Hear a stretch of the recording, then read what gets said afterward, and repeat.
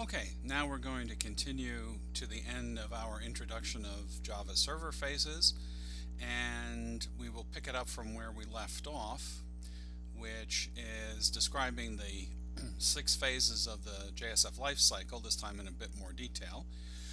So, as I said, every request that comes in goes through, uh, nominally speaking, these six different phases. As I said, in the case of errors, um, when you do it specifically because you want to, um, you can jump out of this cycle, but this is the normal cycle of handling a, an HTTP request and generating an HTTP response um, by JSF. So step one would be restore view, apply request values, then process validations, update model values. You'll notice that these are after the validations are being processed because of course you want to have only clean data going into your model.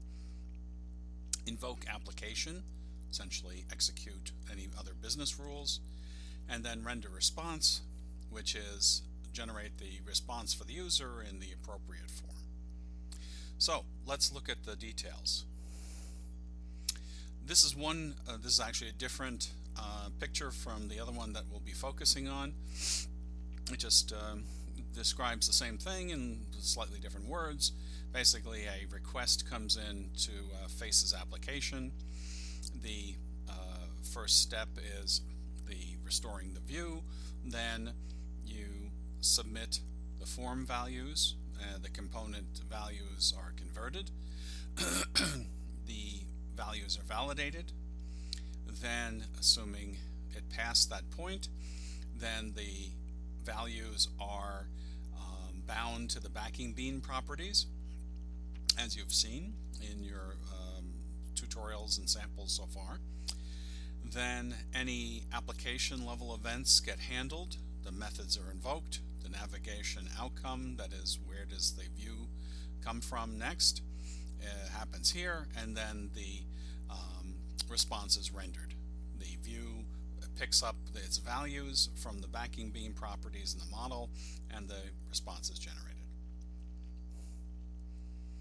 So restore view, this phase is responsible for constructing or reconstructing. This is in fact where that term postback comes from. Um, if the view is being redisplayed after an error. So the view that the user last saw is uh, created as an internal data structure within the uh, Java EE app server. Step two, apply the request values. That component tree tries to apply the request parameters that came along with the form um, uh, or in the URL from the user to each of the corresponding components that um, correspond to those things. So in other words, the input fields that I typed into have a UI component corresponding to that in the tree. The checkboxes that they checked, the radio buttons that they pushed, all have corresponding components in the tree. And then the first step is to try to update those values. the um, This is where the conversion errors um, might actually happen. So in fact, if again, your field is expecting to have strings and you're putting in numbers. Well, actually, that's not as good an, uh, an example if it's the other way around. If it's expecting numbers and you're putting in strings, or if you have some more complicated uh, conversion routines, then this is where that would happen.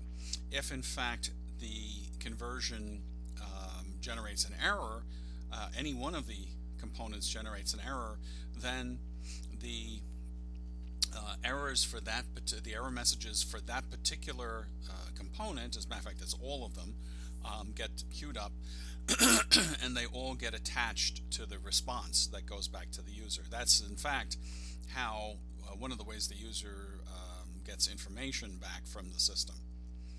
Then process validations, assuming you passed step two. Each component um, has a validator. Many of them, they're very easy to add. You can simply say required equals true um, in the attribute uh, up to writing your own very complex validation. Um, each component that has a validator associated with it are checked against the rules. If there are any validation errors, those are queued up and then we go to render response. This is, as I showed you, is where the cycle uh, jumps um, right to the render response phase because there's really no point in going on if in fact the errors get caught earlier in the process. Then step four, um, this is the time when the managed bean properties that correspond to the input components um, um, get updated, okay? Because now they've been converted properly, they've been validated, so um, if any errors happen here, which could still happen, then again, those errors are queued up. They're stuck onto the, um, the response that goes back to the user and it's sent back. Five, invoke applications. Any application level methods, so these would be the actual, for example, an action is one of these. Um, and any events, you know, on blur, on change, um, any of those JavaScript type events. Um, or, I mean, the obvious ones like a page submit or a redirection to another page. Um, that's where this happens in step five.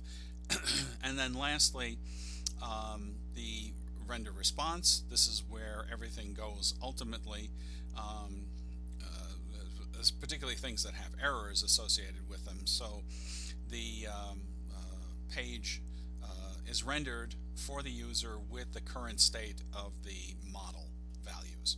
If there are any errors, as I said, those will go back um, to the user as well. so here is our diagram again showing those things. Is step one, two, three, four, and 5. Um, going to step 6, which is the render portion, and we'll look at these in a little bit more detail, exactly how this works. So restore view. Restore view, JSF, if it's the first time the page has been seen for this user, then it creates the data structure, wires the event handlers that it needs to watch out for, and the validators to the components. It saves the view in something called a faces context object instance. The reason I mention this is because, in fact, programmatically, you'll need to access the, this object occasionally in order to perhaps, uh, for example, if you want to put in your own error messages, um, this is uh, the object you need to get access to in order to attach the error messages. Um, and so the um, uh, everything uh, from this point on also has access to this faces context instance. And uh, it, uh, as I said, it has an, a number of methods associated with it. Um, probably the most important one is the error messages. So at this point, this is the um, initial request versus postbacks. Those are the two different possibilities. If it's an initial request, that's the first time they click on something. The postback requests, if they are uh, coming back the second time or the third time or the tenth time as a result of an initial request. so typically that happens when there are errors in the uh, forms, for example. When the life cycle gets one of these initial requests, it, acts, uh, it executes only um, the restore view and render response phases. Now you might say, well, why did it skip over all the rest of those things? Well, in fact, because it's the initial request, there's nothing there yet. there's no interaction with the with the user um, because the page has just been created, so they haven't had an opportunity to actually type something into it yet. Remember, this is a cycle, so it keeps going around and around and around, and you know you have to pick some place to start. Um, so at this point, just imagine this is the the first page that they see. It has to be that would be the initial request, and it has to be uh, created and filled out with any values that the system puts in there. Um, uh, but the user hasn't had an opportunity to interact with it yet. Um, however, if it is a postback, in other words, this is not the first time that the user has been there, then it goes and executes all of the standard lifecycle phases in turn. So step two is apply request values. The request values are the ones that are coming along with the request, either as post parameters or as get parameters um, that come as part of the query string uh, as part of the URL. So assuming the component tree has been restored, this is for a postback request, each component gets its new value from the request parameters by using this method and then the value is stored locally um, in the tree. Okay, so this is where the um, values that the user has typed in get associated with a component in the tree. They haven't, remember, haven't uh, get associated with the backing bean yet. That happens later on. If um, a conversion fails, then there's an uh, error associated with that. It's attached to faces context, and this message will be available to be displayed along um, with everything else at the render response phase. Um, and then also any validation errors, etc., would also uh, be tacked on as they happen later on. If some components have what is called the immediate attribute set to true, that's something you, you can say um, in one of your um, components, one of your widgets, then the uh, these validations, conversions, event handling, uh, etc., um, will essentially um, you can short circuit the, them so that they don't bother. In other words, if you see a conversion error, then you can simply say, um, okay, send me the messages back from that and don't bother doing anything else. Just come right back. So that's one way you can um, um, use this. Another case is what is called a partial request and those are usually generated by these AJAX calls. The partial context is retrieved and the partial processing method is applied. That's internal within the lifecycle. This is what allows you to retrieve simply parts of pages as necessary without having to go through the entire process otherwise. Step three, process validations. At this point, all the validators that have been registered with the components um, are executed. It checks every component uh, against the rules that you've defined for it. if any of them is invalid or if, if, any of the conversion fails, which was just before this, um, adds error messages for that and then again jumps right to step six so that um, there's no reason to go on from that point. If there were conversion errors from the apply request values phase, the messages are also displayed here. Okay, so here's an example of, of a message that would get sent back at a, this point uh, directly to the user. Next step, update model values. Well, now we should have clean data because it's converted properly passed all the validations. Um, and so then what it does is it sets the values in the backing beans properly so that um, the model has uh, clean clean data. Okay. Um, if for some reason there's an error at this point, um, then likewise the um, uh, lifecycle jumps right to render response, and then any errors that came uh, with it are ready to be displayed. Step 5, invoke application. any business logic, application level events um, are handled, like submitting a form or linking to another page. this is sort of the highest level of what the user sees.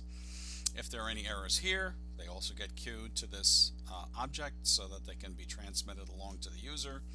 And then, uh, assuming everything goes correctly, um, the uh, full render response will happen and that completes the life cycle for that particular page. Render response, of course, this is JSF building the view it determines who in, it, in its um, uh, list of view managers is responsible for rendering that particular page. If it's an initial request, again, this is the other end of the cycle the components are represented uh, that are represented on the page will be added to the tree. So this is the when the tree initially gets built. Otherwise, it's a postback. Um, that is the case here, where it's a postback and there were errors. The original page is rendered again. if the page contains um, these tags, which is something I would recommend that you put near or um, on top of or below, uh, depending upon where you how you want to set up your error uh, messaging. Um, these would be associated with the particular fields that generated the errors. So, for example, H message is uh, associated with a particular field, and H messages is a list. It's an, in fact, it's an unordered list in HTML terms, a UL, of all of the error messages. So if you wanted to bunch all of your error messages for all of the mistakes they make in one place, you can use H messages and let's say put it at the top of the page. If there are no messages, then nothing would be displayed. If there are messages, they would appear um, above, let's say, your form, and then they could fix the messages. Uh, personally, uh, I mean, that's functional, but personally, I think it's probably better to put the error message near the thing that caused the error message. And so, more likely, what you should be doing is putting near each of the widgets in your forms, let's say, an H message corresponding to that particular widget, so that in fact, if during the cycle the uh, error messages are getting tacked on to the response, then they would be associated with each of the fields in turn and um, you could make them red, you can make them bold, you can um, you know do whatever you want to them and more importantly you can put them near where the error actually happened so it's a, good user interface uh, uh, tip. the one last thing that happens after the view is rendered, the state of the response is saved so that subsequent requests can access it. So that's an important thing because uh, this is what allows the postbacks to actually make sense so that you don't have to recreate the initial state every single time if there are errors. Okay. Um, it also creates overhead, if you think about it, on the server side that um, some people would complain about uh, from a performance point of view, but um, there are ways of, of saving this state not um, only on the server but also um, to have the client take some responsibility for it. But that's a performance issue we're not really get into too much. So here we are. Uh, that's the end of the cycle. We'll talk a little bit about managed beans. We've talked about this before. Remember, managed bean is a uh, plain old Java object registered with Java EE. That's the annotations that do that. They contain getters and setters. Um, they can have business logic in them too. uh, and sometimes, in most of the examples we've seen so far, they're acting as backing beans. Uh, but they don't necessarily only act as backing beans. They can act in other ways too. Um, but the uh, when they act as backing beans, what you're doing again is associating with the fields uh, that the user sees and, and interacts with with an object, a bean, on the server side. So the nice thing about this is then JSF manages all of the transferring and updating of the form values, uh, and you don't have to, because otherwise, uh, for example, in many action-oriented frameworks, you would have to do that yourself. So the beans are considered um, normally part of the model, uh, part of the MVC um, pattern. Um, they are uh, registered using either the at sign annotations or this was the way it was done previously, but it um, can still be done this way if you want. Um, their faces um, dash config.xml configuration file can actually be used to define them. Um, as I said a couple of times, the and this is for historical reasons, there are actually two ways of creating these managed beans. One is the original JSF method, which existed before the CDI, um, but nowadays the CDI framework has uh, is going to uh, already started to supersede the managed bean framework in JSF. And so, generally speaking, if you're going to need a managed bean, you probably would use the CDI version the at sign named um, from now on. um, just to review the scoping, the idea is how long does a uh, an object, one of these bean objects last? When does it get created? When does it get destroyed? And who has access to it in the meantime? There are um, uh, a list of scopes that go from pretty much the most specific, the shortest lived, out all the way to the most general, most accessible, longest lived. Um, so we are going to go from none-scoped to application scoped um, with a bunch of other ones in between. um, if you needed one uh, bean that lived just for the length of a single uh, expression language evaluation, this is what you would use. Though that's um, kind of rare that you need that, but uh, it, the capability is there. More typically, if you want to have a bean live as long as the uh, request and response is being managed, that is the request scope. That's very common. Um, minimally, you would probably use that for most form kind of data. Then, uh, this is a somewhat newer uh, scoping. This is as long as the um, user is still interacting with that same particular view, the bean will live. This, in other words, it can be longer than the request scoping, uh, but shorter than the next one, which is session scoped. As long as the user's session lives, and remember that is something that's controlled by the uh, application server when it first notices that a user is, is making requests, um, it will create a session so as to be able to create that conversation. So it generates a unique session ID, and that session ID gets associated with the requests as long as the session is still active. Um, and the session, uh, as I said, uh, will last as long as the user um, keeps interacting with the system. If there is a period of time when they stop interacting based upon the server's timeout value, the um, session object will still stay uh, around. If the timeout gets exceeded, the session object will be destroyed. Or, and we actually saw an example of this, you can do this programmatically, um, which is what happened in our uh, Duke's guessing game um, uh, application. Um, in that case, there was code in there that said, oh, they guessed the value, it's time, let them uh, start a new session, and that would essentially start a new quiz. And that was done programmatically, if you remember that. then we have application scoped. So as long as the web application is running, that is the whole application, the bean is created once the first request is made, or um, if you want to create it right off the bat, you can say eager equals true as an attribute. Um, then it'll get created uh, before anybody even asks for it and it gets destroyed only when the web application shuts down. Nominally, these are only used um, or generally used for things that are um, read only to an entire application. So a good thing that for um, for application scoping would be uh, lists of, of things that you would uh, be putting into forms like state lists or country codes or you know common things that are really not going to change while the application is alive.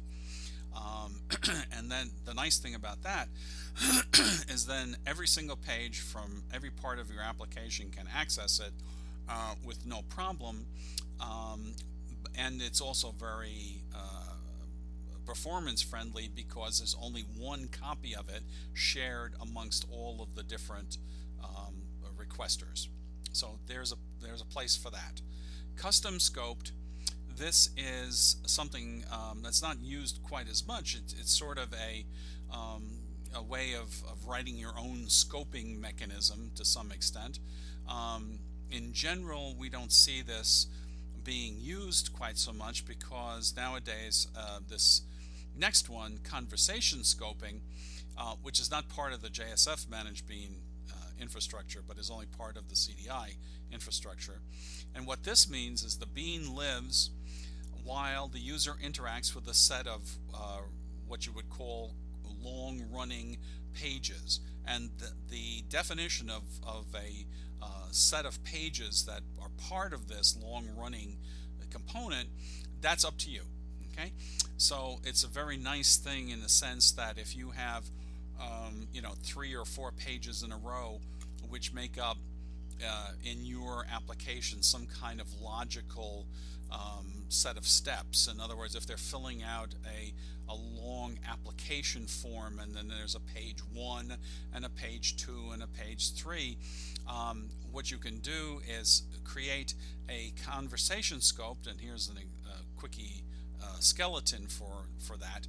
You would create a conversation scoped bean that um, um, where you define the start of the conversation, that's the conversation begin that you see at the bottom left hand side, and then your uh, application would go on and go through, you know, the first set of pages and the second set of pages and the third set of pages, etc., until uh, you hit a logical ending point for you, and then you would call the end conversation method that you wrote here, and that would uh, effectively uh, terminate the length of this uh, or the, terminate the life of this particular bean and it would go away. So it's sort of something in the middle with a lot of um, uh, control um, over it uh, by you and specifying exactly how it's used. So that goes over the basic cycle of how JSF handles a request and generates a response. Talks a little bit or reminds you a bit about the scopes, the managed beans um, that um, are used during that process. And the last thing I wanted to do was just quickly go over some of these basic tags that are part of JSF um, and just mention a few that I thought were um, of particular note that you might want to pay more attention to and read some more about. Again, there's a chapter on the uh, basic tags of JSF in our core JSF book, and I would refer you to that to get the details for this. But um, just to give me an opportunity to um, highlight a few things. So, for example, a uh, one of the ones that you would see perhaps is f colon attribute and what that allows you to do is add attributes to an, a component, a widget as needed.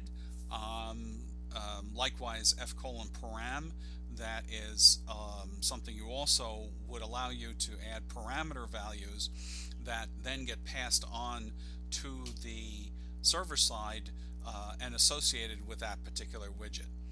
Um, you have a bunch of listeners. I won't go into these here. We can talk about them another time. But uh, this is one of the ways that you can associate a particular JavaScript type of of action. Um, the ones that you may have seen uh, if you write JavaScript uh, and browser code. So the on blur, on change, um, those sorts of things. Um, you can actually associate a particular piece of code on the server side with one of those activities. Um, let's see, what else do we have here? We have um, we have date and time conversions that you can use um, that make sure you can get the uh, data in exactly the formats that you want. Um, adds a validator. This is an important one, uh, along with the other validate ones below it. Um, the the uh, validate double range, long range length required, uh, uh, validate bean.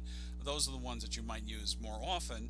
Um, uh, some the some of those are, are the built-in ones for basic field length and, and minimum and maximum values. The validator is um, something that allows you to write your own custom validator and associate it with a particular component. Um, let's see what else. Load bundle. This is a way of loading those, um, oh, for example, those messaging bundles for the different languages. You can actually do it on a page by page basis. Um, let's see what else do we have. Uh, F select item. This is actually where this gets used is when you have a widget that's, for example, a, uh, a checkbox or a radio button or a list box. Um, if you want to specify the choices right then and there inside your widget um, on your uh, JSF page, this is the way that you could specify um, the uh, values for it, for what they can choose from. select items is um, uh, the same idea, except you can select uh, multiple items. The FAJAX, again, that's important because it allows you to uh, update pages um, uh, partially without having to update them completely.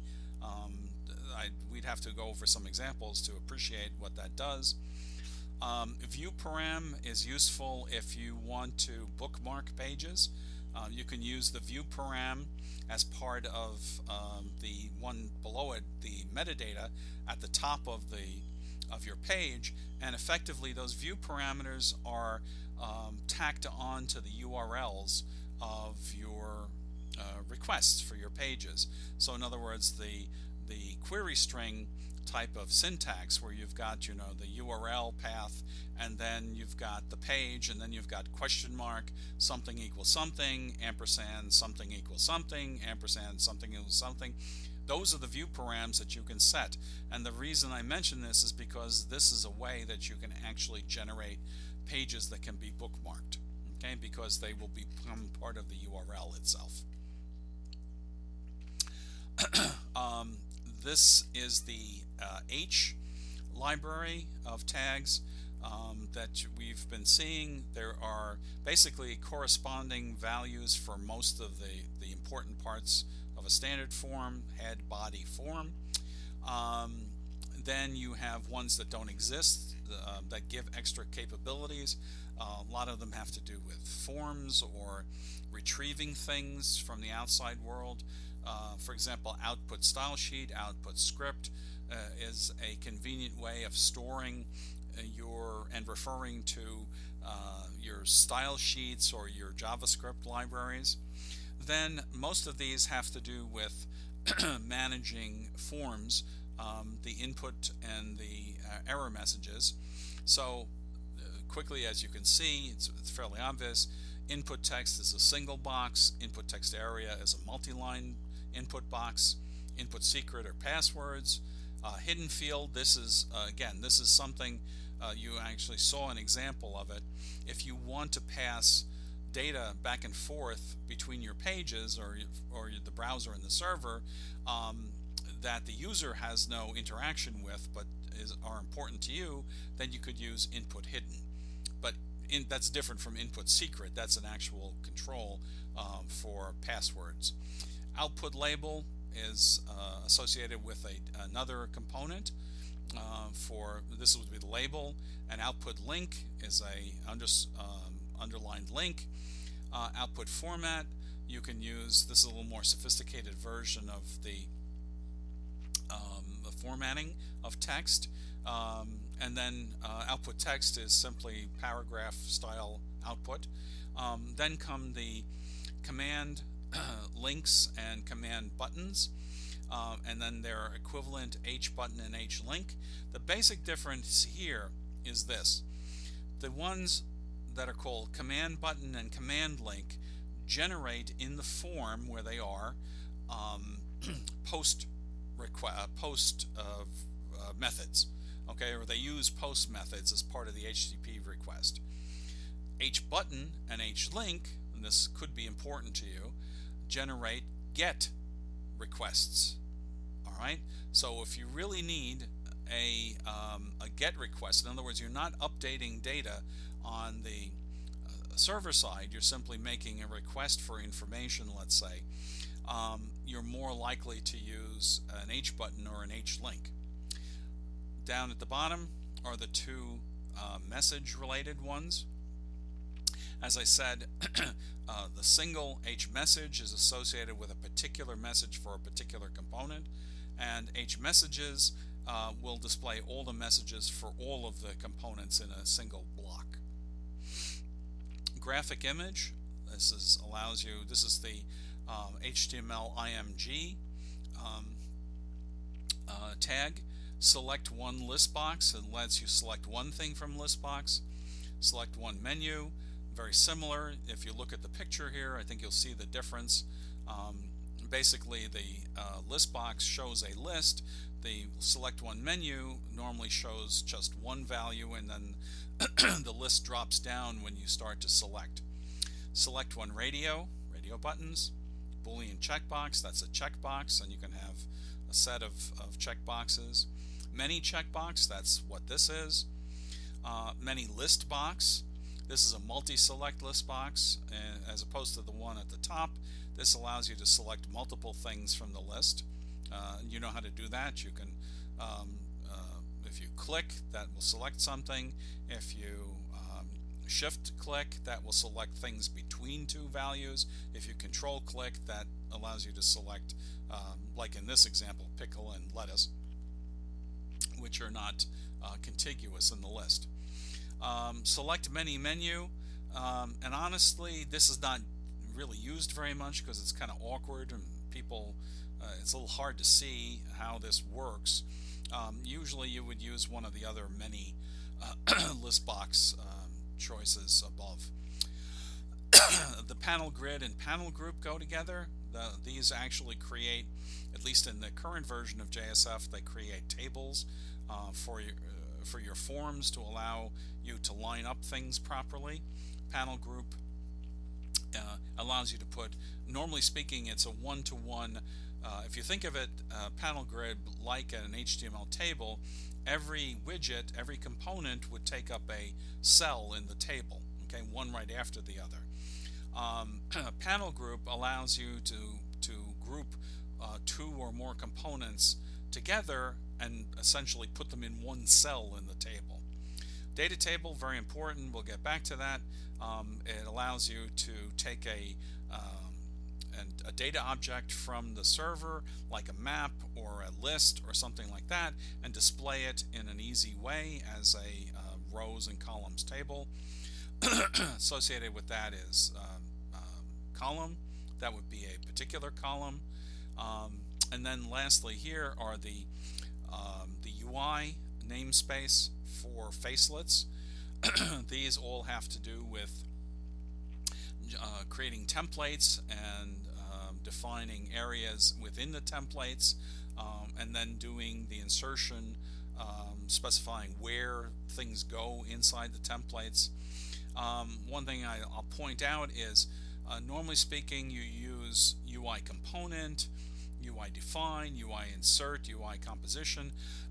that is uh, for full templating.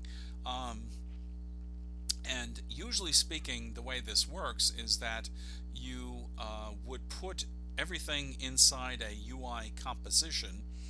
Um, uh, when you're defining these uh, facelets, as you'll see in the chapter on facelets in your textbook, and then um, everything outside of that would be um, uh, outside of that bounded area in your page would basically be ignored by JSF.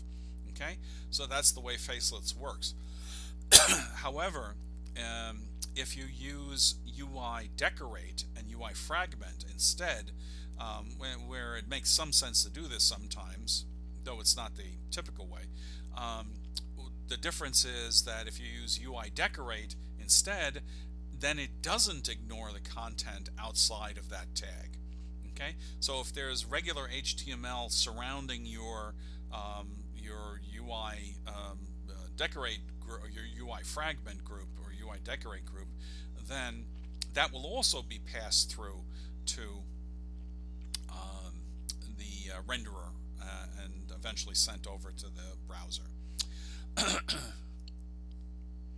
um, here's one that's actually very useful sometimes though usually you would want to use uh, if you can use data tables or some form of uh, PrimeFaces has very nice uh, table tags um, but if there are times when you really want to do your own um, iteration through something through a list um, that you created or an array or a map um, then you can use this facelets um, namespace tag called UI repeat. And basically what it does is it allows you to create kind of your own uh, for loop right? So that you can or your own while loop and allows you to then um, say on this list object, I want to pick off each item, and then you can do whatever you want inside your JSF with that. So it's it's quite flexible, um, and it's the preferred way of doing manual stepping through these objects if you need to.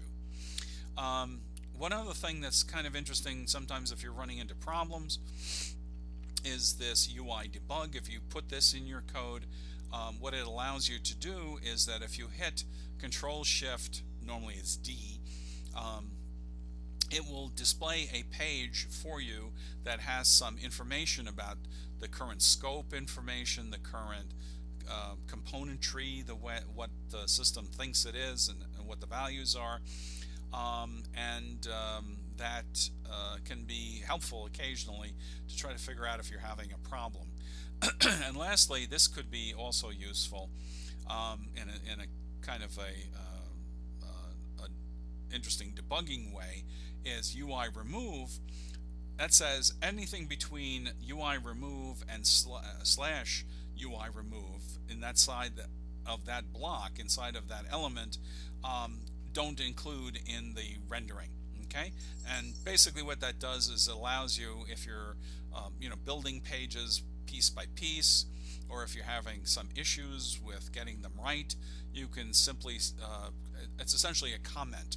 Uh, you can comment out in a JSF way portions of your JSF pages so that they're not uh, processed until that remove is uh, taken out okay? So and that actually might come in handy too and the last thing I wanted to mention uh, was again this JSTL core tag lib uh, these are the Java server pages um, um, libraries that uh, have been used for a long time to do various things. I, am not going to go over them in detail here, but I think you can see, um, for example, the uh, choose, uh, if, um, otherwise, um, those, when, those are all associated with putting some logic into your pages. Now, this is not necessarily a good idea to put too much logic because then you'd be breaking the MVC model. but occasionally it does make sense for simple things to uh, be able to put some logic in your views themselves. Um, the other things, uh, let me see what else is here. Um, mm, the, there, I mean, there are some uses for this, so I, I just wanted to introduce this to you. Um, there's another one, this actually you might use more frequently. This is another tag lib.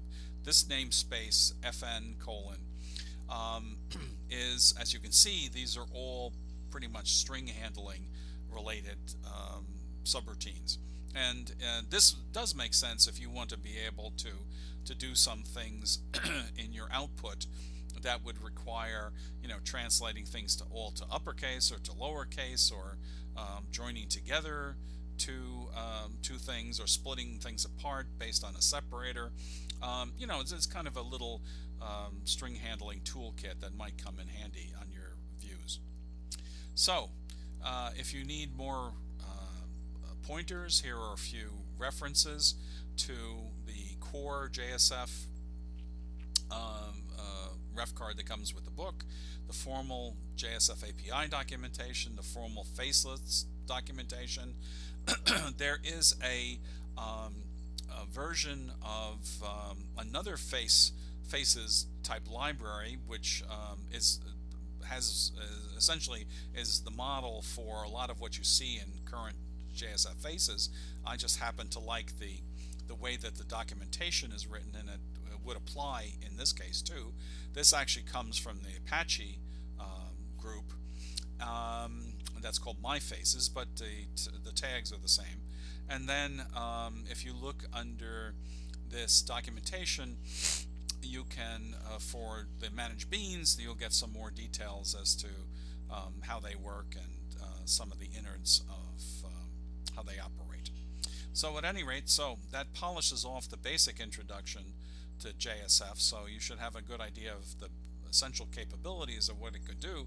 Obviously, there's a lot more if you want to write your own custom validators, or you need to write your own custom converters, or you need to do some fancy templating, uh, etc. And then, of course, is all of the extra uh, look and feel um, that you would add using cascading style sheets and um, the other fancy interaction that you would do using JavaScript libraries. But this essentially is the basic toolkit that you can use to write your applications. And of course, you will have to figure out what your domain logic is so that you would embed in your Java code uh, in the beans on the server side and in the enterprise Java beans, the EJBs. But uh, hopefully now you have a basic idea of how um, the whole um, arena looks and then we'll focus on components of it. For example, how do you hook your uh, application into uh, a relational database. we'll dig into how JPA works and various other specific uh, tasks. Again, if you have any questions, just email me, call me. I'll be happy to respond, and uh, I'll see you pretty much next time.